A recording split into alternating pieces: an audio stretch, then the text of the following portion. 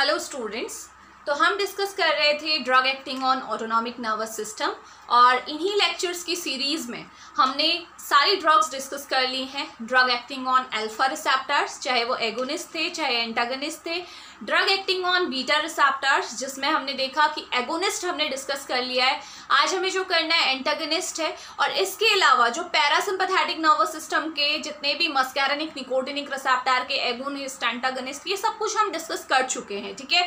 तो आज autonomic nervous system का हम लास्ट जो हमारा टॉपिक रह रहा है उसे हम डिस्कस करने जा रहे हैं जो क्या है बीटा ब्लॉकर्स ओके तो आ, सबसे पहली बात बीटा रिसेप्टर, सबको पता है। सिंपथेटिक नर्वस सिस्टम का जो मेजर आपकी न्यूरो है नॉर एड्रेनलिन और एड्रेनलिन जब भी ये रिलीज़ होते हैं, इनको अपने इफ़ेक्ट को प्रोड्यूस करने के लिए ऑब्वियसली रिसेप्टार्स की ज़रूरत पड़ेगी। तो इनके पास दो ऑप्शन हैं, दो टाइप के रिसेप्टार्स प्रेजेंट हैं alpha and beta receptors alpha receptor detail में हम देख चुके हैं with their location agonist antagonist beta receptors भी हमने डिटेल में देख लिया कि कहाँ कहाँ पे ये लोकेटेड होते हैं, क्या फ़ंक्शन परफॉर्म करते हैं। नेक्स्ट हमने एगोनिस्ट देख लिए कि कौन कौन सी ऐसी ड्रग अवेलेबल हैं जो इन रिसेप्टर्स पे बाइंड होके सेम वही इफ़ेक्ट प्रोड्यूस करती हैं जो एड्रेनलिन या नॉर एड्रेनलिन करता है ओके आज हम बात करने जा रहे हैं कि वो कौन सी ऐसी ड्रग हैं जो बीटा रिसेप्टर्स के थ्रू नॉर एड्रेनलिन या एड्रेनलिन के प्रोड्यूस किए गए इफेक्ट्स को ब्लॉक करेगा, ठीक है? जैसे हमें पता है बीटा वन रिसेप्टर हमारे हार्ट में प्रेजेंट होता है। ये केवल हम एक एग्जांपल ले रहे हैं। हार्ट में क्या करता है? जैसे ही नॉर एड्रेनलिन या फिर एड्रेनलिन इस बीटा वन रिसेप्टर से बाइंड होता है तो हमारा हार्ट रेट बढ़ जाता है। हमारे हार्ट का जो फोर्स ऑफ़ कॉन्ट्रैक्शन है, वो बढ़ जाता है। कार्डियक आउटपुट वो भी बढ़ जाता है। तो अगर आपको ऐसा चाहिए सपोज़ आपके सामने कोई हार्ट फेलियर का पेशेंट है या कोई ऐसा पेशेंट है जिससे हार्ट से रिलेटेड डिज़ीज़ है लाइक अरिदमिया है, ठीक है? हार्ट रेट बहुत ज़्यादा पहले से है तो आप उस केस में क्या चाहोगे कि बीटा वन रिसेप्टर के थ्रू जो सिंपथेटिक नर्वस सिस्टम जो रेस्पॉन्स प्रोड्यूस कर रहा है, उसे रोका जाए, ठीक है? और हमेशा ध्यान रखिएगा, एक बात आपको ध्यान में रखनी है चाहे पैरासिम्पथेटिक नर्वस सिस्टम हो, चाहे सिंपथेटिक नर्वस सिस्टम है। जब तक ये अपने एक नॉर्मल लेवल पे रहता है, क्योंकि बॉडी की नॉर्मल फिजियोलॉजी को मेंटेन करने के लिए इन दोनों का ही रोल बहुत इंपॉर्टेंट है। तो जब तक ये एक नॉर्मल लेवल पे है तो आप बीटा ब्लॉकर्स दीजिए, कोई फ़र्क नहीं पड़ने वाला है, क्योंकि नॉर्मल फंक्शनिंग आपकी मेंटेन रहेगी। बीटा ब्लॉकर्स तभी असर दिखाएँगे जब आपका sympathetic nervous system over active हो गया है। सपोज़ कोई ऐसी सिचुएशन है जहाँ पे बहुत आपका sympathetic nervous system over active हो गया like in case of anxiety ठीक है? किसी पर्सन को एनजाइटी है तो आप जानते हो एनजाइटी के केस में क्या होता है? जो जो नॉर एड्रेनलिन है, इसका लेवल क्या होता है? ब्रेन में बढ़ जाता है न्यूरॉन्स में। तो आप सिंपली बोल सकते हो ऐसे केस में हम ब्लॉकर्स देंगे बीटा ब्लॉकर्स बिकॉज़ हमें पता है कि ये फिजियोलॉजी से अलग हो रहा है है ना? तो नॉर्मल हमेशा ध्यान रखना सिंपथेटिक नर्वस सिस्टम जब तक नॉर्मली एक्टिवेटेड है, यानी कि हमारी नॉर्मल फिजियोलॉजी के लिए जितना रिक्वायर्ड है, तब तक एक्टिवेटेड है तो बीटा ब्लॉकर देने का कोई फ़ायदा नहीं है, ठीक है? तो ज़रूरत भी नहीं है ऑब्वियसली तो हमेशा जब ओवर एक्टिव रहेगा, तभी जाके ये ड्रग्स एक्ट करने वाली हैं ओके अब बात ये आती है कि जो ये बीटा ब्लॉकर्स हैं, ठीक है, क्या करते हैं, समझ में आ गया? अब बात ये है कि जो ये बीटा ब्लॉकर्स हैं, किस तरीके से वर्क करते हैं? लाइक एल्फा रिसेप्टर ब्लॉकर्स आपने देखा था एल्फो ब्लॉकर में दो टाइप की कैटेगरी में हम ड्रग्स को डिवाइड कर सकते हैं। एक है सिलेक्टिव दूसरी है नॉन सिलेक्टिव सिलेक्टिव वो ड्रग होंगी जो पर्टिकुलरली एक टाइप के रिसेप्टर्स को ब्लॉक करेगी, ठीक है?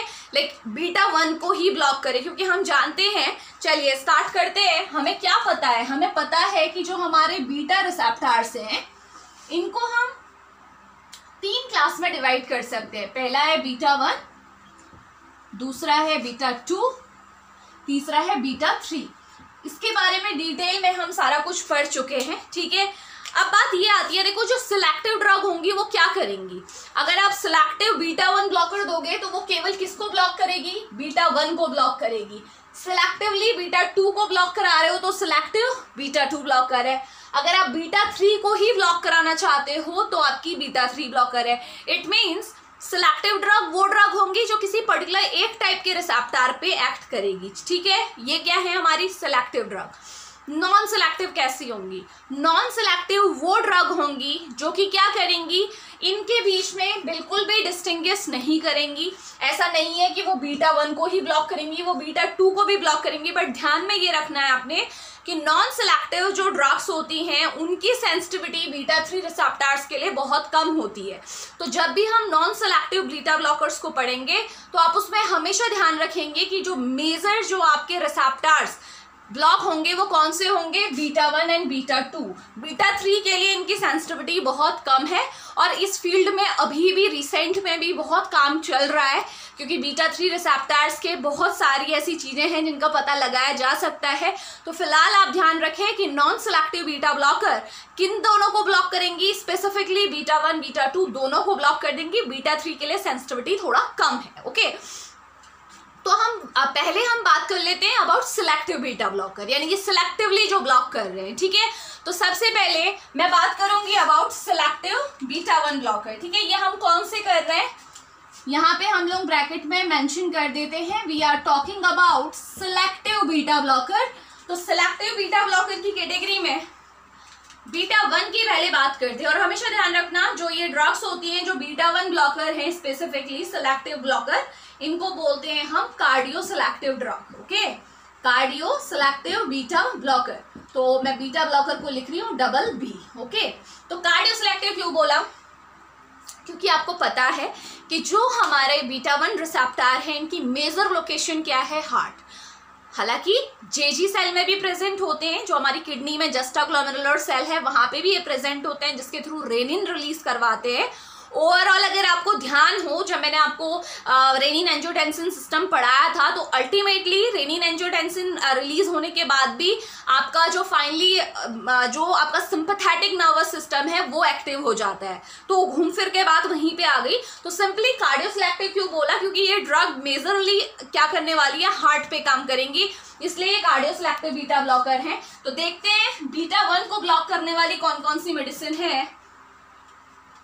ठीक है? So in this category we have atenolol one minute next हमारे पास है metoprolol okay next one is esmolol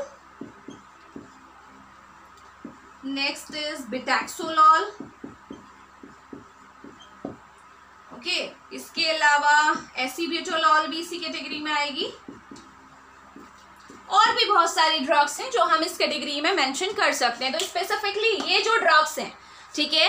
ये लॉल लिखा हुआ है ना पीछे ध्यान रखिएगा बीटा ब्लॉकर्स की खासियत है आपको ये मिलेगा ही मिलेगा। सो so, ये सारी ड्रग क्या करेंगी? जब भी आप इन ड्रग्स को दोगे सीधे ये किस रिसेप्टर को ब्लॉक करेंगी? बीटा वन को।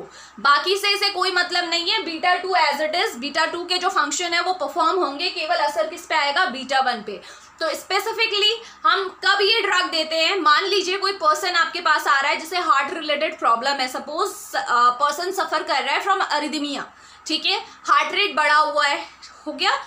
लेकिन वहीं दूसरी ओर वो अस्थमा का भी पेशेंट है, ठीक है? तो ऐसे केस में आप खुद सोचिए, आप बीटा टू को अगर ब्लॉक करा दोगे बीटा वन को तो आपने ब्लॉक किया ही आपने बीटा टू को भी ब्लॉक करा तो क्या होगा? आप जानते हो बीटा टू रिसेप्टर की वजह से क्या होता है? ब्रोंको डायलेशन यानी कि इंसान को सांस लेने में आसानी होती है। बट अगर आप बीटा टू को भी ब्लॉक करा दोगे तो क्या हो जाएँगे? ब्रोंकाइज कॉन्स्ट्रक्ट हो जाएँगे। आस्थमेटिक पेशेंट के ब्रोंकाई वैसे ही कॉन्स्ट्रक्ट होते हैं। आपने क्या किया?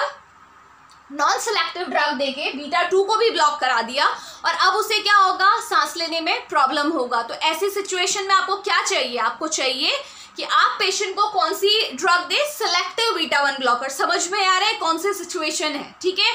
अब हम बात करेंगे, ये तो ड्रग थी आपकी बीटा वन ब्लॉकर जो कि सिलेक्टिवली केवल बीटा वन को ब्लॉक करेंगी ओके नेक्स्ट हमारे पास ड्रग आती है बीटा टू ठीक है? अभी सिलेक्टिव की बात हो रही है, ध्यान रखिएगा, जो केवल इसी रिसेप्टर को ब्लॉक करेगी। तो in this category we have butoxamine okay butoxamine जो बीटा टू ब्लॉकर है सिलेक्टिव बीटा टू ब्लॉकर आप ध्यान रखिएगा। मैं बीटा थ्री भी मेंशन कर देती हूँ साथ में, क्योंकि बीटा टू और बीटा थ्री के जो सिलेक्टिव ब्लॉकर्स हैं, इनका कोई क्लिनिकल यूज़ नहीं है। क्लिनिकल यूज़ मतलब अभी ह्यूमंस में इनका कोई यूज़ नहीं होता है, केवल एक्सपेरिमेंटली लैब में इन्हें यूज़ करते हैं फॉर रिसर्च पर्पज ध्यान रखिएगा, जो सिलेक्टिव बीटा टू है और selective beta three receptors blocker है इनका कोई क्लिनिकल यूज़ नहीं है ठीक है? तो लेकिन नेम आपको पता होनी चाहिए आ, बीटा टू ब्लॉकर का क्या है? ब्यूटॉक्सामीन बीटा थ्री की सीरीज़ है ठीक है? इनको अभी तक कोई स्पेसिफिक नेम नहीं दिया हुआ है बट सीरीज़ ज़रूर है। वो सीरीज़ मैं आपको बता देती हूँ।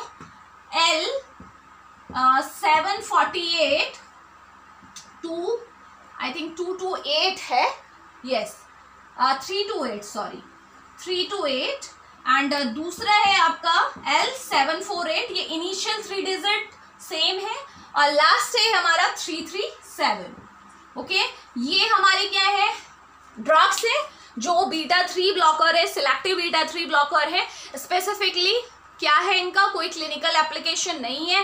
केवल लेबोरेटरी में जो एनिमल एक्सपेरिमेंटेशन होते हैं आपके उनके लिए इन्हें फ़िलहाल यूज़ किया जाता है। ठीक हो गया? अभी भी रिसर्च वर्क इन पे चल रहा है। सो so, स्पेसिफिकली अगर हम सिलेक्टिव ड्रग की बात करें तो केवल सिलेक्टिव बीटा वन ब्लॉकर अगर बीटा ब्लॉकर्स की कैटेगरी से कोई सिलेक्टिव ड्रग इंपॉर्टेंट है तो वो beta one selective blocker important है। ठीक है? जिन्हें कार्डियो सिलेक्टिव बीटा ब्लॉकर भी कहा जाता है। रीजन मैं आपको बता चुकी हूँ कि इनकी क्या इंपॉर्टेंस है। तो ये था all about selective beta blocker specifically इनके नेम आपको पता होने चाहिए। ठीक है? चाहे क्लिनिकल एप्लीकेशन हो या ना हो। अब बात करेंगे हम किसकी? नॉन सिलेक्टिव ड्रग की ओके चलिए। तो नॉन सिलेक्टिव बहुत सिंपल है। मैं पहले आपको बता चुकी हूँ कि जो नॉन सिलेक्टिव हमारे पास ड्रग रहेंगी, वो स्पेसिफिकली क्या करने वाली है? वो बीटा वन बीटा टू दोनों को ब्लॉक करेंगी। बीटा थ्री के लिए उनकी सेंसिटिविटी कम है, इसीलिए बीटा थ्री रिसेप्टार्स के जो भी रेस्पॉन्स होंगे, उन पर इतना फ़र्क नहीं पड़ने वाला है। सो so, हम बात कर रहे हैं about non selective beta blocker okay non selective beta blocker okay चलिए स्टार्ट करते हैं। अब देखो नॉन सेलेक्टिव बीटा ब्लॉकर समझ में आ रहा है कि नॉन सेलेक्टिव मतलब कोई ऐसा नहीं है कि किसी एक स्पेसिफिक को ब्लॉक करने वाला है। एक से ज़्यादा जो रिसेप्टार्स होंगे वो ब्लॉक होने वाले हैं। सब नहीं होंगे? सब तो हमने पहले ही हटा दिया रेस से बीटा थ्री को तो बाहर कर चुके हैं हम।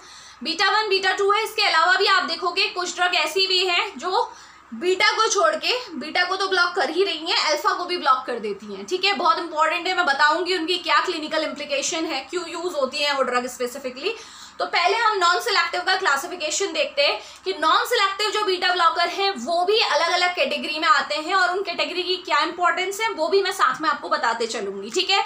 सो so, सबसे पहले जो नॉन सिलेक्टिव बीटा ब्लॉकर हैं इन्हें हम बोल सकते पहली कैटेगरी हमारे पास है ड्रग्स विद इंट्रेंसिक ओके पहले हम ऐसा कर लेते हैं विदाउट कर लेते हैं विदाउट इंट्रेंसिक सिंपैथोमाइमेटिक एक्टिविटी ये कैटेगरी आपने सुनी होगी अगर आपने क्लासिफिकेशन देखा है आपने बीटा ब्लॉकर्स का नॉन सिलेक्टिव का ठीक है? ये कौन सी ड्रग है आपकी? वन मिनट हाँ? सिंपैथोमाइमेटिक एक्टिविटी आएगा। ओके ना ये कौन सी कैटेगरी है? ये पहली कैटेगरी है। Drugs with intrinsic sympathomimetic activity अब ये intrinsic sympathomimetic activity without sorry without intrinsic sympathomimetic activity होता क्या है? तो विदाउट मतलब नहीं है उसमें एक्टिविटी लेकिन ये इंट्रेंसिक सिंपैथोमाइमेटिक एक्टिविटी होती क्या है? अगर हम इसको समझ लें तो हम दोनों क्लास को समझ लेंगे। तो मैं ऐसा करती हूँ, यहीं पे दूसरी क्लास भी लिख देती हूँ। ठीक है? With intrinsic sympathomimetic activity okay I S A लिख दिया है मैंने। ठीक है? इंट्रेंसिक सिंपैथोमाइमेटिक एक्टिविटी को मैंने आई एस ए से डिनोट किया हुआ है। यानी कि इस कैटेगरी में वो ड्रग आएँगी जिनमें आई एस ए है, यानी कि इंट्रेंसिक सिंपैथोमाइमेटिक एक्टिविटी है। और इस कैटेगरी में वो ड्रग आएँगी जिसमें इंट्रेंसिक सिंपैथोमाइमेटिक एक्टिविटी नहीं है। तो सबसे पहले बात करेंगे कि इंट्रेंसिक सिंपैथोमाइमेटिक एक्टिविटी है क्या। फिर ड्रग्स को हम डिस्कस करेंगे। तो आपको ध्यान में रखना है। देखो, आपको मैंने जब रिसेप्टार्स के टाइप पढ़ाए थे ठीक है, जब मैंने रिसेप्टार रेगुलेशन वाला आपको पूरा बताया था टू स्टेट रिसेप्टार मॉडल हमने देखा था, है ना? रिसेप्टार फार्मकोलॉजी जब हमने पढ़ी थी तो हमने उसमें क्या देखा था? कि जो हमारी ड्रग्स होती हैं, वो या तो एगोनिस्ट होंगी, या एंटागनिस्ट होंगी, या पार्शियल एगोनिस्ट होंगी, या फिर इन्वर्स एगोनिस्ट होंगी। और चारों को मैंने बिल्कुल डिटेल में आपको बताया था कि कैसे वर्क करती हैं, ठीक है? तो जो इंट्रेंसिक सिंपैथोमाइमेटिक एक्टिविटी मतलब होता है पार्शियल एगोनिज्म ओके कुछ ड्रग ऐसी होंगी बीटा ब्लॉकर्स की कैटेगरी में कुछ ड्रग ऐसी होती हैं जो कि हालाँकि ब्लॉक करेंगे, हम कह रहे हैं वो बीटा ब्लॉकर है, लेकिन थोड़ा बहुत उसके अंदर सिंपैथोमाइमेटिक इफ़ेक्ट होगा। माइमेटिक क्या होता है? मिमिक करना नकल करना। यानी कि अगर मैं बोल रही हूँ कि अगर कोई ड्रग में इंट्रेंसिक सिंपैथोमाइमेटिक एक्टिविटी है तो इसका मतलब ये है कि वो ब्लॉक ज़रूर करेगी, लेकिन कंप्लीट ब्लॉकेज नहीं करेगी, ठीक है? केवल मैंने बताया था पार्शियल एकोनिस्ट क्या होते हैं, जो केवल क्या करते हैं? सेवेंटी परसेंट और सेवेंटी फाइव परसेंट इफ़ेक्ट दिखाते हैं आपका। हंड्रेड परसेंट की जगह ब्लॉकेज कितनी होगी केवल? सेवेंटी परसेंट या फिर सेवेंटी फाइव परसेंट जिनको बोलते हैं कि वो ड्रग जो कि सब मैक्सिमल रिस्पॉन्स प्रोड्यूस करती हैं। पढ़ा था, याद आ रहा है, ठीक है? तो आपको ध्यान में क्या रखना है कि कुछ ड्रग कुछ बीटा ब्लॉकर्स ऐसे भी हैं जो क्या है ब्लॉक तो करती हैं बीटा रिसेप्टार्स को, लेकिन कंप्लीटली ब्लॉकेज नहीं देती हैं। थोड़ा बहुत सिंपैथोमाइमेटिक इफ़ेक्ट आएगा। ठीक है? सिंपैथोलाइटिक तो आएगा। अगर 75 परसेंट सिंपैथोलाइटिक इफ़ेक्ट आ रहा है, यानी कि ब्लॉकिंग इफ़ेक्ट आ रहा है but remaining 20 to 25 percent sympathomimetic effect भी आएगा। अब आप ये सोचेंगे कि इसका क्या एडवांटेज है? जब हम बीटा ब्लॉकर दे रहे हैं तो हम कंप्लीट ब्लॉकेज क्यों नहीं करा रहे हैं? है ना? तो आपको ध्यान में ये रखना है कि जो बीटा रिसेप्टार्स होते हैं ना, ये बहुत ही ज़्यादा सेंसिटिव रिसेप्टार हैं लाइक अदर रिसेप्टार जैसे और रिसेप्टार्स होते हैं। तो होता क्या है, अगर आप किसी भी रिसेप्टार की कंप्लीट ब्लॉकेज कराओगे, आप खुद सोचिए, अगर आप किसी भी रिसेप्टार की कंप्लीट ब्लॉकेज करा रहे हो तो उससे क्या होगा? इफ़ेक्ट नॉर्मल से भी नीचे के रेंज में आ सकता है। सबसे पहली बात तो ये। सपोज़ तुमने क्या किया नॉन सेलेक्टिव बीटा ब्लॉकर दिया, ठीक है? बीटा वन भी ब्लॉक हुआ बीटा टू के रेस्पॉन्स भी ब्लॉक हुए। कंप्लीट ब्लॉकेज होने की वजह से क्या होगा? आप चाह रहे थे कि रेस्पॉन्स कम हो, लेकिन वो कम से भी नीचे आ जाएगा तो वो तो आपके लिए सही नहीं है ना? हार्ट रेट बढ़ा हुआ था, ठीक है हार्ट रेट नीचे आया, लेकिन आप उससे नीचे तो नहीं चाह रहे हो। वैसे मैंने आपको बताया था कि जो बीटा ब्लॉकर्स होते हैं स्पेसिफिकली नॉर्मल अगर आपका ब्लड प्रेशर है नॉर्मल अगर हार्ट रेट है तो उसे नीचे नहीं करेंगे, केवल बढ़े हुए को कम करेंगे। दूसरा रीजन जो कि मोस्ट इंपॉर्टेंट रीजन है, इस वाले को आप थोड़ा ये भी बोल सकते हो कि हाँ नॉर्मल से ज़्यादा नीचे तो वैसे भी नहीं आना है। बट जो मेजर रीजन है इसके पीछे, वो ये है कि जब आप बीटा रिसेप्टार्स को कंप्लीटली ब्लॉक कर देते हैं ठीक है? तो उसकी वजह से सपोज़ आपने क्या किया? कुछ टाइम बाद ड्रग को विड्रॉ कर दिया। सडनली आपने स्टॉप कर दिया। तो बीटा रिसेप्टार्स क्या होते हैं? सुपर सेंसिटिव हो जाते हैं क्योंकि आप खुद सोचिए ना, एक रिसेप्टर ऐसा है जो बहुत लंबे टाइम तक उसको अपना एगोनिस्ट मिला ही नहीं है। ठीक है? आपने उस रिसेप्टर को ब्लॉक किया था, उसको अपना एगोनिस्ट मिला ही नहीं। तो अब क्या होगा? सडनली आपने उसकी वो ड्रग स्टॉप करा दी। तो एकदम से उसे जब अपना एगोनस दिखेगा ना तो वो उसके लिए इतना ज़्यादा सुपर सेंसिटिव हो जाएगा कि थोड़े से अमाउंट से भी बहुत बड़ा इफ़ेक्ट आ जाएगा। समझ रहे हो? एड्रेनलिन या नॉर एड्रेनलिन सपोज़ ये हमारी सेल मेम्ब्रेन है। ये हमारी सेल मेम्ब्रेन है, ठीक है? ये हमारा बीटा रिसेप्टर है। बीटा रिसेप्टर ठीक? अब ये हमारे क्या है? ये हमारा क्या है? नॉर एड्रेनलिन है एनए है, ठीक? और ये हमारा सपोज़ ब्लॉकर है, ठीक है? मैं यहाँ पे ब्लॉकर को बैठा देती हूँ, क्योंकि ये बीटा रिसेप्टार पे जाके बैठ चुका है तो ये बीटा ब्लॉकर है डबल बी ओके तो होगा क्या देखो, एक बहुत लंबे टाइम से, बहुत लंबे टाइम से बीटा ब्लॉकर इस रिसेप्टार पे बैठा हुआ था नॉर एड्रेनलिन को ये बाइंड नहीं होने दे रहा था। तो इस वजह से क्या हुआ? चलो ठीक है रेस्पॉन्स नहीं आ रहा था हार्ट रेट आपका नहीं बढ़ रहा था। बीटा वन मान लीजिए इसे, ठीक है? बीटा वन रिसेप्टर है। अब हुआ क्या? सडनली आपने बीटा ब्लॉकर स्टॉप कर दी तो नॉर एड्रेनलिन फटाफट से आएगा।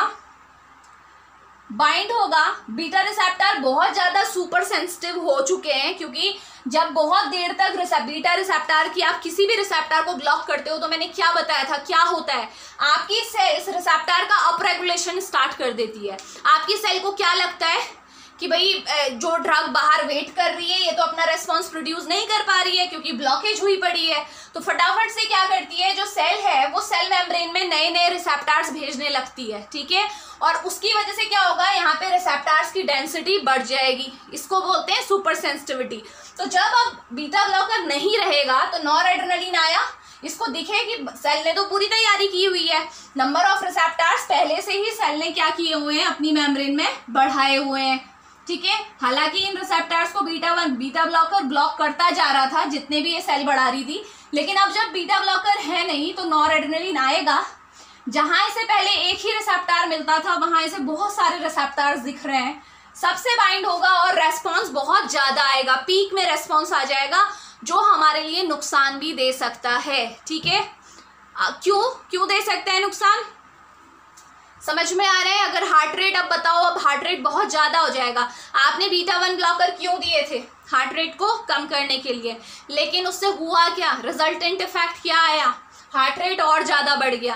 तो इसे हम क्या बोलते हैं? रिफ्लेक्स टेकिकार्डिया ठीक है, जो प्रॉब्लम है बीटा ब्लॉकर्स के साथ। तो सिंपली हम ये बोल सकते हैं कि जब हम बात करते हैं किसमें इंट्रेंसिक सिंपैथोमाइमेटिक एक्टिविटी तो उसका एडवांटेज ही ये होता है कि जो बीटा वन रिसेप्टार हैं कंप्लीटली ब्लॉक नहीं होते हैं। 75 परसेंट इसमें ब्लॉकेज अगर होगी भी तो 25 परसेंट इसमें एगोनिस्टिक इफ़ेक्ट भी आता रहेगा तो उससे बैलेंस बना रहेगा। जो आपकी सेल है, उसे ये नहीं लगेगा कि ये नॉर एडनलिन बाहर ही वेट कर रहा है इसको रेस्पॉन्स दिखाने का मौका नहीं मिल रहा है। और उसकी वजह से जो सेल है, वो रिसेप्टार्स को अपरेगुलेट नहीं करेगी। ये जो नए रिसेप्टार्स बने थे, ये नहीं बनेंगे। और इसकी वजह से जो रेस्पॉन्स है जो आपका अगर बीटा ब्लॉकर आपने छोड़ भी दी, लेना बंद भी कर दिया तो उसकी वजह से आपको रिफ्लेक्स टेकिकार्डिया रिफ्लेक्स हाइपरटेंशन को फेस नहीं करना पड़ेगा। आई होप आपको समझ में आ गया होगा। आप रेगुलेशन मैंने आपको पूरा पढ़ाया था, ठीक है? इसीलिए मैं बोल रही हूँ, जो भी आप लेक्चर देख रहे हैं, उसी सीरीज़ के अकॉर्डिंग ही पढ़िए, ठीक है? तो ये आपका क्या है? Intrinsic sympathomimetic activity I hope आपको समझ में आ गया होगा कि इंट्रेंसिक सिंपैथोमाइमेटिक एक्टिविटी होने का क्या एडवांटेज है। तो ये जो फ़र्स्ट कैटेगरी है, वो क्या है? ये वो कैटेगरी है, इसमें वो ड्रग आती हैं जिनमें आईएसए बिल्कुल भी नहीं है, यानी कि इंट्रेंसिक सिंपैथोमाइमेटिक एक्टिविटी नहीं है। ये रिसेप्टार्स में जाएँगी तो रिसेप्टार को कंप्लीटली ब्लॉक करेंगी, ठीक है? एंटागनिस्ट है ये प्योर एंटागनिस्ट आप इन्हें बोल सकते हो। लेकिन जो आपकी इंट्रेंसिक सिंपैथोमाइमेटिक वाली जो ड्रग होगी, ये क्या करने वाली है? ये पार्शियल आपकी पार्शियल एगोनिस्ट या पार्शियल एंटागनिस्ट की तरह वर्क करेगी। ध्यान में रखिएगा, ठीक है? तो चलिए। अब हम ड्रग डिस्कस कर लेते हैं। आई होप दोनों कैटेगरी आपको क्लियर हो गई होगी। सो इन फ़र्स्ट कैटेगरी यानी कि विदाउट इंट्रेंसिक सिंपैथोमाइमेटिक एक्टिविटी जिनमें ये एक्टिविटी होती नहीं है, यानी कि रिसेप्टर कंप्लीटली ब्लॉक होता है कौन कौन सी ड्रग हमारे पास है? फ़र्स्ट ड्रग है हमारे पास प्रोपेनेलॉल ठीक है? बहुत कॉमन नेम है. सेकेंड ड्रग मेरे पास है sotalol and next drug we have timolol ठीक है? ये वो ड्रग हैं जो जब भी बीटा रिसेप्टर्स पे जाएँगी both beta one and beta two यहाँ पे मैंने केवल बीटा वन का एग्ज़ाम्पल दिया था, वो केवल आपको हार्ट रेट का एग्ज़ाम्पल समझाने के लिए था। बिकॉज़ हम बात कर रहे हैं about non selective beta blocker तो इसीलिए ये ड्रग बीटा वन और बीटा टू दोनों को ब्लॉक करेंगी। ये बात दिमाग में रखना। बीटा थ्री के लिए इनकी सेंसिटिविटी इतनी ज़्यादा नहीं है, इसलिए बीटा थ्री के रेस्पॉन्स के साथ इंटरफेरेंस नहीं होगा ओके सो ये तीन ड्रग ऐसी हैं जिनमें कोई भी आपकी सिंपैथोमाइमेटिक एक्टिविटी नहीं है। तो ये ड्रग के साथ कौन सी प्रॉब्लम फेस करनी पड़ सकती है आपको? कौन सी प्रॉब्लम फेस करनी पड़ सकती है? अगर आप क्या कर रहे हो? कम्प्लीटली ब्लॉकेज कर रहे हो? तो अभी मैंने बताया था, अगर आप कंप्लीट ब्लॉक कर रहे हो रिसेप्टार को, और अगर आपने बीटा ब्लॉकर्स को, इन बीटा ब्लॉकर्स को सडनली स्टॉप करा दिया तो क्या होगा?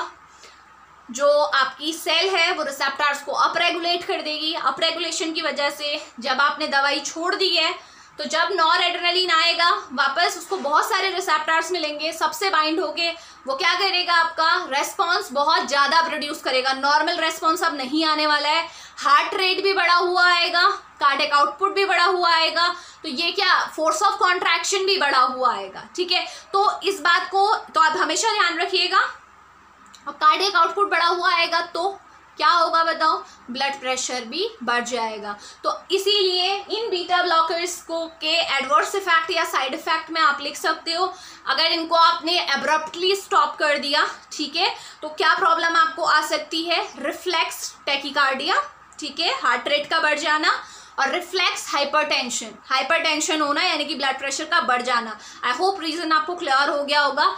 इसके बाद जो ये इंडिविजुअल ड्रग है, मैं इनके कुछ आपको यूज़ भी बता देती हूँ साथ साथ में कवर करते हुए हम चल रहे हैं। तो सबसे पहले मैं बात करूँगी अबाउट दिस प्रोपेनोलॉल ठीक है? प्रोपेनोलॉल को हम कौन कौन सी सिचुएशन में यूज़ कर सकते हैं? तो सबसे पहली सिचुएशन है, जो प्रोपेनोलॉल को हम यूज़ कर सकते हैं, वो है एनजाइटी में, ठीक है? अब एनजाइटी में क्यों यूज़ होती है? आप जानते हो कि जब हम किसी भी इंसान को एनजाइटी होती है तो आप देखोगे उसके ब्रेन में बॉडी में सिंपथेटिक नर्वस सिस्टम का जो आपका एक्टिवेशन होता है ना, वो बहुत ज़्यादा हो जाता है। यानी कि अगर आप ब्रेन एनालिसिस करोगे तो आपको नॉर एड्रेनलिन बहुत हाई अमाउंट में मिलेगा। ठीक है? तो ये माना जाता है, ये सारी मैं पहले ही एक बार बता चुकी हूँ आपको कि सीएनएस से रिलेटेड जितनी भी डिसऑर्डर जितनी भी डिज़ीज़ हैं, इनकी एग्जैक्ट पैथोफिजोलॉजी किसी को नहीं पता है। हर किसी ने केवल क्या दी हुई हैं? थियोरीज प्रपोज की हुई हैं। और ये थ्योरी ऐसे ही आई, जब कोई पर्सन एनजाइटी का सामने कोई सिम्टोमेटिक पर्सन आया होगा तो जब उसकी एनालिसिस हुई तो तो पता चला कि ब्रेन में नॉर एड्रेनलिन का लेवल बहुत ज़्यादा है। तो वहाँ से कोरिलेट कर लिया कि नॉर एड्रेनलिन एनजाइटी से रेलिवेंट है। यानी कि जिसके भी ब्रेन में नॉर एड्रेनलिन एक एक्सेस अमाउंट में होगा तो वो पर्सन एनजाइटी के सिम्टम्स को एग्जिबिट करेगा। ठीक है? और एनजाइटी सबको पता है क्या होता है एनजाइटी डर, है ना? जब फेयर होता है हमें किसी अननोन सिचुएशन के लिए, हमें पता नहीं होता हम किस चीज़ से डर रहे हैं बट डर रहे होते हैं। तो जो फेयर होता है हमारा और एनजाइटी दोनों में डिफरेंस ही ये है। फेयर में हमें क्या होता है? कॉज पता होता है हम किस चीज़ से डर रहे हैं। सपोज़ मुझे डर लगता है पानी से। ठीक है? ज़्यादा गहराई का पानी देख के मुझे डर लगता है, मुझे हाइट से डर लगता है। कोई भी ऐसी चीज़ हो सकती है जिससे आपको डर लगता हो, है ना? तो वो एक नोन रीज़न है। तो ऐसे नोन अगर आपके पास रीज़न है तो इसे फेयर बोलेंगे। एनजाइटी मीन्स हमें नहीं पता हम क्यों डर रहे हैं। कोई अननोन चीज़ है जिससे हमें डर लग रहा है। आप अगर पर्सन से पूछोगे भी तो वो आपको एक्सप्लेन भी नहीं कर पाएगा उसे डर किस बात का लग रहा है। तो इसे बोलते हैं हम एनजाइटी तो ध्यान में रखिएगा एनजाइटी के केस में ब्रेन में नॉरएडनलिन का लेवल बहुत ज़्यादा हो जाता है। इसीलिए हम वहाँ पे क्या दोगे आप? क्या दोगे? Sympathetic nervous system over active है तो क्या देना चाहिए हमें? सिंपैथोलाइटिक ड्रग और स्पेसिफिकली वहाँ पे हम कौन सी ड्रग यूज़ करते हैं? बीटा ब्लॉकर्स को। और बीटा ब्लॉकर कौन सा? Non selective beta blocker propranolol ठीक है? तो सबसे पहला केस समझ में आ रहा है। एनजाइटी के केस में आप इसे यूज़ कर सकते हो, क्योंकि हम चाह रहे हैं कि ये नॉर जो बड़ा हुआ है इसके रेस्पॉन्स क्या हो? ब्लॉक हो। ठीक है तो हमने ये दे दिया। नेक्स्ट हमारे पास, हालाँकि एंजाइटी के लिए और भी ज़्यादा ड्रग अवेलेबल है, जो हम सीएनएस में डिस्कस करेंगे, जिसमें आपकी बेंजोडाइजिपिन है डाइजिपाम की डिग्री की ड्रग है तो वो सारी हम बाद में देखेंगे। नेक्स्ट हमारे पास जो सिचुएशन है, जहाँ पे हम इसे यूज़ कर सकते हैं, वो है हमारे पास थायरोटॉक्सिकोसिस ठीक है? थायरोटॉक्सिकोसिस मीन्स आप जानते हो थायरोटॉक्सिकोसिस कौन सी सिचुएशन होती है? जब हमारी बॉडी में थायराइड हार्मोन का लेवल बहुत ज़्यादा है whether T three T four जो है हार्मोन है हमारे, उनका लेवल जब बहुत ज़्यादा हो जाता है टॉक्सिक लेवल हो जाता है तो उसको हम क्या बोलते हैं? थायरोटॉक्सिकोसिस समझ में आ रहा है? तो अब आप बोलेंगे कि थायरोटॉक्सिकोसिस में, यानी कि थायराइड हार्मोन के लेवल बढ़ने में बीटा ब्लॉकर्स का क्या रोल है? तो ध्यान रखिएगा, जब भी थायराइड हार्मोन से रिलेटेड आप उसकी फार्माकोलॉजी पढ़ेंगे, ठीक है? आई होप आई थिंक मैंने आपको कराया भी है इसका लेक्चर आप देख सकते हैं थायराइड हार्मोन पे। तो आप देखोगे कि थायराइड हार्मोन जो होते हैं, वो आपके सिंपथेटिक जो आपके रिसेप्टार्स हैं ना, उनकी सेंसिटिविटी को बढ़ा देते हैं, ठीक है? सेंसिटिविटी को बढ़ाने का मतलब समझ में आता है? यानी कि आपके जो रिसेप्टार्स नॉर्मली मॉलिक्यूल के बाइंड होने से, यानी कि नॉर एड्रेनलिन के बाइंड होने से जितना रेस्पॉन्स प्रोड्यूस किया करते थे, अब वो उतने ही अमाउंट में, उतनी, उसी बाइंडिंग के साथ बहुत ज़्यादा रेस्पॉन्स प्रोड्यूस करेंगे, ठीक है? तो आप ध्यान रखिएगा कि थायराइड हार्मोन अगर किसी के बढ़े हुआ है, ठीक है? थायराइड हार्मोन का लेवल ज़्यादा है तो उसका सिंपथेटिक नर्वस सिस्टम की जो एक्टिविटी है ना, वो भी आपकी बढ़ जाती है। दोनों क्या है? एक दूसरे के प्रोपोर्शनल है। ठीक हो गया? तो थायरोटॉक्सिकोसिस का अगर कोई पेशेंट है, जिसका थायराइड हार्मोन बढ़ा हुआ है तो ऑब्वियसली उसके लिए बहुत सारी ड्रग्स अवेलेबल हैं बट फॉर कॉम्बिनेशन थेरेपी आपको साथ में प्रोपेनोलॉल भी दी जाती है।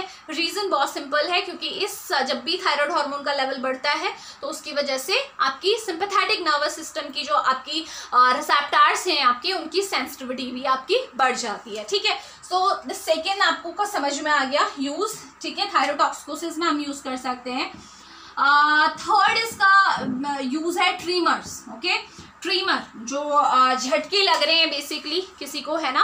तो ट्रीमर्स में जनरली होता है ट्रीमर्स मतलब अगर आपके हाथ पैरों में, आपकी मसल्स में क्या हो रही है, बहुत ज़्यादा ट्विचिंग हो रही है या जर्किंग मूवमेंट हो रहे हैं, उसी को हम ट्रीमर बोलते हैं। तो जनरली आप ट्रीमर में हम इसे क्यों यूज़ कर रहे हैं? तो ध्यान रखिएगा कि जो हमारे बीटा टू रिसेप्टार्स होते हैं बीटा टू रिसेप्टार हमारी स्केलेटल मसल्स में जो हमारे मसल फाइबर होते हैं ना मसल स्पिंडल जिन्हें बोलते हैं, उनमें प्रेजेंट होते हैं और उनकी वजह से जब भी नॉर एड्रेनलिन जाके मसल स्पिंडल में प्रेजेंट बीटा टू रिसेप्टार से बाइंड होता है तो हमारी मसल स्पिंडल्स में कॉन्ट्रैक्शन स्टार्ट हो जाते हैं। तो उन कॉन्ट्रैक्शन की वजह से क्या होगा? अगर वो कॉन्ट्रैक्शन बहुत फास्ट होंगे तो उसकी वजह से क्या होगा? जर्किंग मूवमेंट होगा मसल्स में मूवमेंट होगा, जो कि क्या है ट्रीमर के फॉर्म में होगा। तो इस चीज़ को समझिए कि बीटा टू रिसेप्टर हमारे मसल स्पिंडल में प्रेजेंट है। तो जब भी नॉरेड्रेनलिन उन रिसेप्टार से बाइंड होता है तो क्या होता है मसल जो स्पिंडल्स हैं, उनमें कॉन्ट्रैक्शन स्टार्ट हो जाता है बहुत ज़्यादा और उसकी वजह से ट्रीमर्स हमें फेस करने पड़ते हैं। तो बहुत सिंपल सा तरीका है कि अगर आप वो ट्रीमर्स से बचना चाह रहे हैं हालाँकि बार बार मैं बोल रही हूँ ड्रग्स और भी अवेलेबल हैं बट साथ में आप प्रोपेनोलॉल दे सकते हैं, क्योंकि उसकी वजह से क्या होगा बीटा टू रिसेप्टर ब्लॉक होने वाला है और बीटा टू के ब्लॉकेज की वजह से वो जो ट्रीमर्स हो रहे हैं, वो आपके क्या हो जाएँगे, कम हो जाएँगे। ठीक है? तो ये इंपॉर्टेंट बात है जो आपको ध्यान में रखनी है। इसके अलावा जो आपका इसका यूज़ है, एक और यूज़ यहाँ पे मैं आपको बता दूँ migraine prophylaxis okay migraine prophylaxis migraine prophylaxis क्या? माइग्रेन में क्या होता है? अगर किसी इंसान को माइग्रेन है, जब हम कहते हैं कि हेडेक हो रहा है ना माइग्रेन है तो माइग्रेन में जनरली होता क्या है? ठीक है? हमारी जो सेरिब्रल यानी कि हमारे सेरेब्रम में जो हमारी ब्लड वेसल्स होती हैं, वो बहुत ज़्यादा जब डायलेट होने लगती है ना उसकी वजह से वो पेन होता है, जो माइग्रेन के इंसान, जिन लोगों को माइग्रेन है, उन्हें जो पेन फील होता है ना अपनी इंटेंसिटी का, वो किस वजह से होता है? क्योंकि जो सेरिब्रल ब्लड वेसल्स हैं, वो डायलेट हो रही हैं, ठीक है? अब अब हमें क्या पता है कि अगर हमें माइग्रेन के पर्सन को इलाज करना है ऑब्वियसली हम सिम्टोमेटिक ही रिलीफ दे सकते हैं। उसके सिम्टम्स को हम ठीक कर सकते हैं। सिम्टम उन्हें पेन हो रहा है, किस वजह से हो रहा है? क्योंकि उनकी ब्रेन जो सेरिब्रम में वैसो डायलेशन बहुत ज़्यादा हो रहा है तो हमारे पास क्या चीज़ होनी चाहिए? हम ऐसी ड्रग्स दे सकते हैं जो वैसल्स को कॉन्स्ट्रिक्ट कर दें। तो देखिए, आप जानते हो बीटा टू रिसेप्टर की वजह से क्या होता है? क्या होता है? ब्लड वेसल्स में बीटा टू रिसेप्टर होते हैं ना, और उसकी वजह से क्या होता है? वैसो डायलेशन होता है। तो क्या आप चाहोगे कि जो आपका माइग्रेन वाला पर्सन है, उसका beta two receptor normal function करे? अगर वो बीटा टू ऐसे ही काम करता रहा जो वो वैसो डायलेशन शो कर रहा है, वो भी ज़्यादा नॉर एड्रोलिन की वजह से तो क्या होगा? पेन और ज़्यादा वर्स हो जाएगा। तो इसके लिए हम क्या करते हैं? प्रोपेनलॉल को यूज़ करते हैं। प्रोपेनलॉल दोगे तो क्या होगा? बीटा टू रिसेप्टर ब्लॉक हो जाएगा। बीटा टू के ब्लॉक होने की वजह से क्या होगा? क्या होगा? वेसल्स डायलेट नहीं हो पाएँगी। और यही हम माइग्रेन वाले पेशेंट में चाहते हैं कि उसकी ब्लड वेसल्स डायलेट ना हो। कॉन्स्ट्रिक्टेड रहे, क्योंकि अल्फ़ा रिसेप्टर की वजह से तो कॉन्स्ट्रिक्शन होना ही है।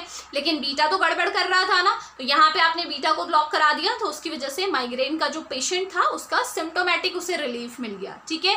तो ये आपको ध्यान में रखना है। तो हमेशा ध्यान रखो, मैं बार बार आपसे, मैंने स्टार्टिंग में भी यही बोला था, ये बिल्कुल भी नहीं है कि नॉर्मल किसी का सिंपथेटिक नर्वस सिस्टम एक नॉर्मल लेवल पे काम कर रहा है नॉर्मली एक्टिवेटेड है, और आप सोचो कि बीटा ब्लॉकर देने के बाद वो कम एक्टिवेशन उसका हो जाएगा। नहीं हमेशा बीटा ब्लॉकर तभी असर दिखाएँगे जब आपका sympathetic nervous system over active है। ओवर एक्टिव को नॉर्मल तक ज़रूर लेके आ जाएगा, लेकिन नॉर्मल आपका अगर सिंपथेटिक नर्वस सिस्टम काम कर रहा है और फिर भी आप बीटा ब्लॉकर दे रहे हो तो ये उम्मीद बिल्कुल नहीं करनी है कि ये इससे भी नीचे लेके आएगा। तो ये बहुत इंपॉर्टेंट पॉइंट है, ठीक है? ध्यान में रखिएगा। अदरवाइज़ तो ये होता कि सपोज़ कोई पर्सन है जिसे अस्थमा है ब्रोंकाई उसके कॉन्स्ट्रिक्टेड है ठीक है? उसको आपने क्या किया? बीटा ब्लॉकर दिया। ठीक हो गया। ब्रोंको डायलेशन हो गया। लेकिन वो ब्रोंको डायलेशन इतना भी नहीं होगा कि जो नॉर्मल से भी कम हो जाए। अगर ऐसा कंट्रोल हमारी बॉडी में नहीं होगा तो आप खुद सोचो ना, ब्रोंकाई इतने डायलेट हो जाएँगे तो फिर हमारी जो ब्रोंकाई की जो इलास्टिसिटी है, वो भी तो लूज हो जाएगी, है ना? तो इसीलिए हमेशा ध्यान रखना, जब भी कोई आप बीटा ब्लॉकर दे रहे हो तो ये तभी असर करेंगे जब लेवल बढ़ा हुआ है। नॉर्मल लेवल के बाद इसका असर नहीं होने वाला है। अगर नॉर्मल आपका sympathetic nervous system normally activated है, किसी का ब्लड प्रेशर नॉर्मल है, आप सोचोगे बीटा ब्लॉकर देने के बाद उसका नीचे चला जाएगा तो इट इज़ नॉट पॉसिबल ठीक है? तो हाई अगर आपका अगर आपका एक्टिवेशन है सो ओवर एक्टिव आपका सिंपैथेटिक नर्वस सिस्टम है, उसी केस में आपका सिंपैथेटिक ब्लॉकर्स काम करेंगे ओके तो हाँ तो ये हमारे यूज़ थे of propranolol next one sotalol sotalol जो आपकी ड्रग है, ये आपकी यूज़ होती है as in potassium channel blocker potassium channel blocker अगर आपने एरेदमिया देखा है एंटी एरेदमिक ड्रग आपने देखी है तो अरिदमिया के ट्रीटमेंट में ये ड्रग यूज़ होती है। आपने अभी देखा ना बीटा वन रिसेप्टर की वजह से क्या होता है? हार्ट रेट बढ़ रहा था और अरिदमिया में होता ही ये है रिदम आपकी चेंज हो जाती है। हार्ट रेट आपका अगर टैकी अरिदमिया की मैं बात करूँ तो हार्ट रेट बढ़ जाता है ना? आर्ट्रियल फिब्रिलेशन आर्ट्रियल फ्लटर आपने पढ़े होंगे। वो हम अरेदमिया में भी डिस्कस करेंगे डिटेल में।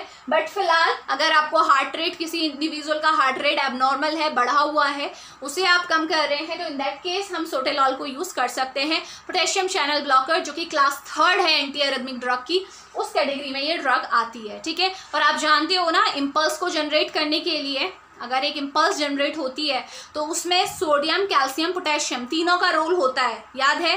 और अगर एक भी आपका जो आयन है, वो आप ब्लॉक करा दोगे तो उसकी वजह से इम्पल्स जनरेट नहीं होगी। हार्ट में कॉन्ट्रैक्शन नहीं होगा तो हार्ट रेट तो खुद ही कम हो जाएगा ना? ये हम डिटेल में भी जाएँगे बट फ़िलहाल आपको पता होना चाहिए next drug we have timolol अब टीमोलॉल का यूज़ कहाँ करते हैं? टीमोलॉल यूज़ होता है in the treatment of glaucoma glaucoma मैंने डिटेल में आपको पढ़ाया है। ग्लूकोमा में होता क्या है आपका? जो आई के अंदर जो एक्वस ह्यूमर है, या तो उसका प्रोडक्शन बहुत ज़्यादा हो रहा है, या फिर उसकी ड्रेनेज बहुत कम हो रही है। दोनों के बीच में बैलेंस होना ज़रूरी है। जो एक्वस ह्यूमर बन रहा है अगर वो प्रोड्यूस हो रहा है आई के अंदर, जो हम कहते हैं ना 2.5 माइक्रोलीटर आपका पर मिनट बनता है एक्वस्यूमर अगर प्रोडक्शन हो रहा है तो उसके साथ उसकी ड्रेनेज भी होनी चाहिए। पूरा डिटेल में मैंने आपको बताया हुआ है aqueous humour production and its drainage lecture में, ठीक है?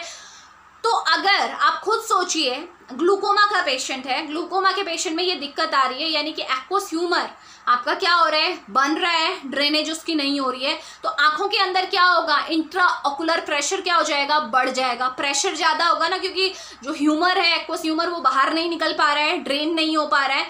तो ऐसे केस में पर्सन को क्या पर्सन की क्या होता है? जब प्रेशर बढ़ता है तो उसकी वजह से क्या होता है? उसकी ऑप्टिक नर्व डैमेज हो जाती है, जिसकी वजह से ऑप्टिक नर्व डैमेज होगी तो आप जानते हो ना, इसी की वजह से तो आप देख पा रहे हो, ब्रेन को मैसेज कौन लेके जा रही है, ऑप्टिक नर्व लेके जा रही है ना? सेंसरी नर्व है जो हमारी। तो इसका मतलब हम सिंपली बोल सकते हैं कि अगर मैं टीमोलॉल की बात कर रही हूँ तो टीमोलॉल क्या रोल प्ले कर रहा है, ठीक है? तो टीमोलॉल क्या करता है, हमारी जो सीलियरी मसल्स हैं ठीक है? जो हमारी सीलियरी बॉडी है, जिसके थ्रू एक्वस ह्यूमर बनता है, ये क्या करता है? सीलियरी बॉडी में क्या करता है? वैसो जो वेसल्स प्रेजेंट है, उनको कॉन्स्ट्रक्ट कर देता है। पूरा मैंने डिटेल में आपको बताया है, कैसे एक्वस्यूमर बनता है, ठीक है? तो होता क्या है? सीलियरी बॉडल बॉडी में जो ब्लड वेसल्स हैं, उनको कॉन्स्ट्रक्ट कर देगा। तो ब्लड वेसल के कॉन्स्ट्रक्शन की वजह से क्या होगा? जो एक्वस ह्यूमर बन रहा है, उसका जो प्रोडक्शन हो रहा है, वो क्या हो जाएगा? कम हो जाएगा। एक्वस ह्यूमर कम बनेगा तो इंट्राकुलर प्रेशर जो था, वो भी कम हो जाएगा। और आईओपी कम होगा तो ग्लूकोमा में आपको वैसे ही रिलीफ मिल जाएगा। समझ में आ रहा है कि टीमोलॉल ने कैसे काम किया? तो टीमोलॉल के काम करने का तरीका बहुत सिंपल है। ये क्या करता है? सीलियरी बॉडी में जो हमारी ब्लड वेसल्स प्रेजेंट हैं उनको क्या कर देता है? आपका कॉन्स्ट्रक्ट कर देता है। ठीक हो गया? सो so, ये आपका क्या है? क्या है? ये ड्रग्स हैं जिनमें इंट्रेंसिक सिंपैथोमाइमेटिक एक्टिविटी नहीं है। जब भी ये रिसेप्टार्स पे जाएँगी रिसेप्टार्स को कम्प्लीटली ब्लॉक करेंगी इनका डिसएडवांटेज आपको मैं बता चुकी हूँ कि क्या इसका डिसएडवांटेज होगा। ठीक है? ना हम बात करेंगे ड्रग्स की, जिनमें आपकी क्या है इंट्रेंसिक सिंपैथोमाइमेटिक एक्टिविटी है। तो इस कैटेगरी में जो ड्रग हमारे पास अवेलेबल है, वो कौन सी है, देखें। इस ड्रग का नाम है हमारा पिंडोलॉल, ठीक है? पिंडोलॉल हमारी ड्रग है। एंटी हाइपरटेंसिव बहुत अच्छी एंटी हाइपरटेंसिव ड्रग है। ये बेसिकली आप इंडिया से बाहर भी आपकी कंट्रीज़ में इसको प्रेफर किया जाता है for the treatment of hypertension reason मैं बता चुकी हूँ। क्यों? क्योंकि इसमें इंट्रेंसिक सिम्पैथोमाइमेटिक एक्टिविटी है। जब भी ये ब्लॉक करेगी रिसेप्टर को कम्प्लीटली ब्लॉक नहीं करेगी और कंप्लीट ब्लॉक नहीं होने की वजह से जो रिसेप्टर अप रेगुलेशन हो रहा है, वो नहीं होगा। और जो बाद में, आप ट्रीटमेंट के बाद भी आपको जो ये टैकिकार्डिया और हाइपरटेंशन को फेस करना पड़ रहा है, वो आपको नहीं करना पड़ेगा। तो आई थिंक इससे ज़्यादा मुझे बताने की ज़रूरत नहीं है, क्योंकि इसके बारे में ऑलरेडी हम बहुत सारा डिस्कस कर चुके हैं। तो आपको केवल पता होना चाहिए पेंडोलॉल ये बहुत अच्छी एंटी हाइपरटेंसिव ड्रग है। ऑल ये अकेले भी दे सकते हो, आप इन कॉम्बिनेशन भी आप दे सकते हो, ठीक है? हालाँकि इनसे भी बहुत बेटर ऑप्शन अब हमारे पास अवेलेबल हैं बट स्टिल आपको यूजेस पता होने चाहिए, ठीक है? अब जो हमारी, इसके अलावा जो हमारी लास्ट कैटेगरी आती है, वो कौन सी कैटेगरी है देखो? ये वो ड्रग है beta blockers with additional beta blockers तो हैं ये, लेकिन देखो इनमें और क्या एक्टिविटी है? With additional alpha one blocking activity ये मैंने आपको बताया था स्टार्टिंग में जब मैं बता रही थी, ये इस कैटेगरी में वो ड्रग आएँगी जो बीटा रिसेप्टर्स को ब्लॉक करेंगी। ठीक है? नॉन सेलेक्टिव है तो बीटा वन बीटा टू को तो ब्लॉक करेंगी लेकिन साथ में ये अल्फ़ा वन जो रिसेप्टार के जो इफ़ेक्ट हैं उन्हें भी ब्लॉक कर देगी। अब इनके क्या एडवांटेज होने वाले हैं ये मैं भी आप लोगों के साथ डिस्कस करने जा रही हूँ। सो so, पहले हम इस कैटेगरी में जो ड्रग हैं उनकी देख लेते हैं ठीक है? कौन कौन सी ड्रग्स हमारे पास अवेलेबल है? तो फ़र्स्ट जो ड्रग मेरे पास इस कैटेगरी की है वो क्या है? लेबिटोलॉल ठीक है? और सेकेंड ड्रग जो हमारे पास है वो है कार्विडी लॉन्ग ओके? ये जो दो ड्रग हैं, ये वो ड्रग हैं जो बीटा को तो ब्लॉक करेंगी, साथ में अल्फ़ा को भी ब्लॉक करेंगी तो इनका क्या एडवांटेज हमारे पास होने वाला है? तो ये मैं एडवांटेज अभी तक आपको नहीं बताया था, अब मैं इसकी बात करूँगी। ये देखिए, ये सपोज़ हमारी सेल की मेम्ब्रेन है, ठीक है? सेल की मेम्ब्रेन में हमारे पास क्या है, देखो। ये सपोज़ मैं बात कर रही हूँ स्मूथ मसल्स हमारी जो ब्लड वेसल है उनकी बात हो रही है ठीक है? ब्लड वेसल्स में जो हमारी सेल्स हैं हमारी उनकी बात हो रही है। सो so, हमारे पास दोनों रिसेप्टार होते हैं ब्लड वेसल में हमें पता है। अल्फ़ा रिसेप्टार्स भी हैं हमारे पास और हमारे पास बीटा रिसेप्टार्स भी हैं ठीक है? दोनों रिसेप्टार हमारे पास प्रेजेंट होते हैं। ये हमारे पास नॉर एड्रेनलिन है। Suppose nor adrenaline nor epinephrine कुछ भी कह लीजिए ये है। अब क्या होता है देखो आपने क्या किया? अभी तक आपने जो ड्रग दी थी, जो आपकी चाहे विदाउट इंट्रेंसिक सिंपैथोमाइमेटिक एक्टिविटी वाली थी, चाहे विद इंट्रेंसिक सिंपैथोमाइमेटिक एक्टिविटी वाली ड्रग थी, आपने उस केस में क्या किया था?